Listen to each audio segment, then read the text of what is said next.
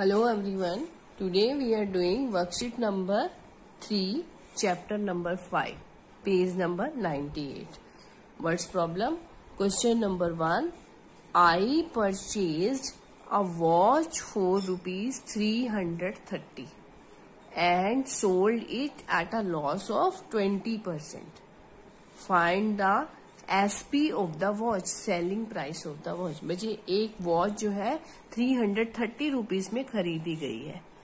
And sold it at a loss of rupee loss of twenty percent और उसे जब बेचा गया तो ट्वेंटी परसेंट का उस पर लॉस हुआ। Find the S P of the watch watch की एस पी क्या है? मतलब कि उसका सेलिंग प्राइस क्या है? तो इसमें आपको क्वेश्चन क्लियर है। Cost price of the watch three hundred thirty rupees दिया हुआ है। और लॉस जो है आपके पास ट्वेंटी परसेंट है। ठीक है? अब आपको बताना क्या है? Find the S P of the watch right इस, अब बचे आप लोगों ने एक फॉर्मूलाज है जो आपने लर्न करने हैं। मैंने ऑलरेडी इस पे लिख के रखे हैं। आपने इसमें देखना है कि आपका कौन सा फॉर्मूला इसमें अप्लाई होगा। आपने निकालना क्या है? एसपी निकालनी है। सेलिंग प्राइस निकालना है। तो सेलिंग प्राइस के लिए आपके ये दो फॉर्मूलाज में से अप्लाई होगा, ठीक है? अब आपके पास क्वेश्चन में लॉस दिया हुआ है, ठीक है?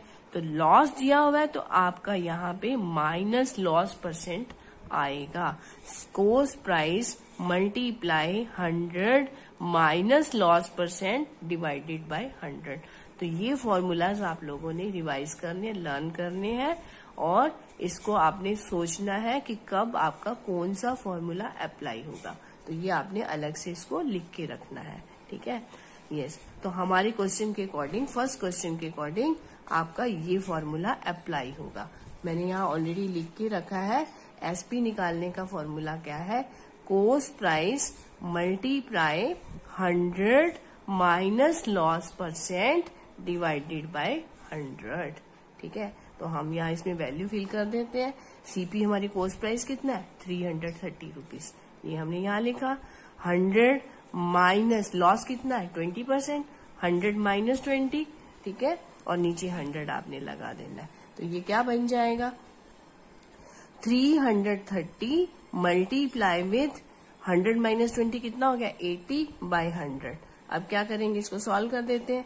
वन ज़ीरो से one zero cancel one zero से one zero cancel thirty three eight jar rupees two hundred sixty four ये आपके पास आंसर आ जाएगा right now question number two by selling a TV set for rupees eight thousand एक TV set को बेच, बेचा गया कितने रुपीज़ में? एट थाउज़ेंड रुपीज़ में. A shopkeeper loss twenty percent of his cost जिसे शॉपकीपर को ट्वेंटी परसेंट उसकी कोस्ट से लॉस हुआ, ठीक है? If he sells it for rupees eleven thousand अगर वो इसे इलेवन थाउज़ेंड में बेच देता है वट प्रॉफिट और loss would be there for him अगर वो इसे इलेवन थाउज़ेंड में बेचता है तो उसे क्या प्रॉफिट और लॉस होगा?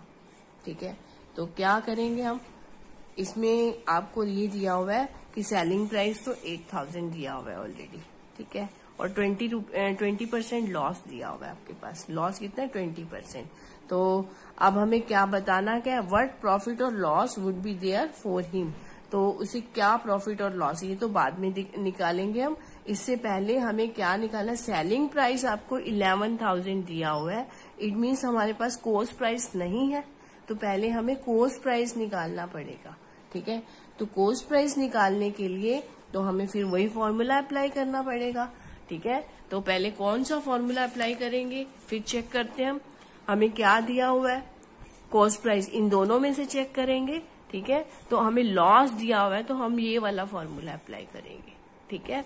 तो apply this selling price multiply hundred divided by hundred minus loss ठीक है?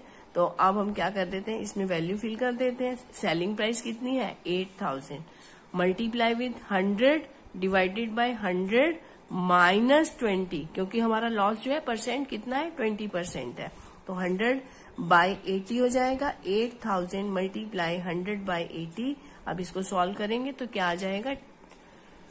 टेन थाउज़ेंड आ जाएगा। कैसे? वन ज़ीरो से वन ज़ीरो कैंसिल होगी एट वन जा एट और एट थाउज़ेंड या एट थाउज़ेंड थाउज़ेंड को टेन से मल्टीप्लाई करेंगे, क्या आ जाएगा? टेन थाउज़ेंड बच्चे, अब आपको क्या दिया हुआ है? Selling price of the TV set is rupees eleven thousand ठीक है?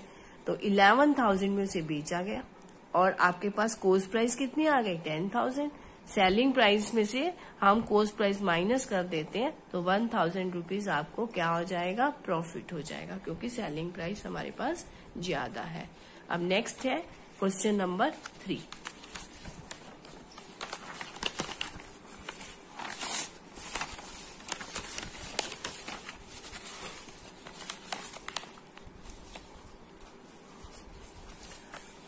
A shopkeeper purchased a TV set for rupees 9000 and sold it at a loss of 5%. Find the selling price of TV set TV set का selling price कितना है? एक shopkeeper ने एक TV set कितने rupees में खरीदा? नाइन थाउज़ेंड रुपीज़ में खरीदा. Cost price of TV set is rupees nine thousand ठीक है? और लॉस कितने में हुआ? फाइव परसेंट कितना लॉस हुआ? फाइव परसेंट लॉस पर उसे बेच दिया गया. ठीक है? तो आपको बताना क्या find the selling selling price of the TV set TV का सेलिंग प्राइस कितना है?